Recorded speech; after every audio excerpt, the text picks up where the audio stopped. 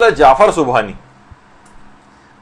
ये फरमाते हैं कि दुनिया और आखरत की भलाई की दो तजवीज़ें इन्होंने दी एक तो है कि नमाजों का अव्वल वक्त में अगर कोई शख्स एहतमाम करे, और दूसरा है, ये है कि रोज़ाना एक जुज तिलावत, एक पारा तिलावत तिलावत कुरान रोज़ाना करे। यानी बाकायदा किसी ने उनसे सवाल पूछा था कि दुनिया और आखरत की भलाई के लिए मेरे और मेरे अहल खाना के लिए आप क्या चीज़ तजवीज़ करते हैं? तो उन्होंने ये दो चीज़ें बताई। नमाजों को अव्वल अवकात में अंजाम देना और कुरान का एक पारा रोज़ाना तिलावत करना, दुनिया और आखरत की हर खैर और भलाई आपको हासिल हो जाएगी अगर कोई इस चीज़ के ऊपर कारबंद हो जाए।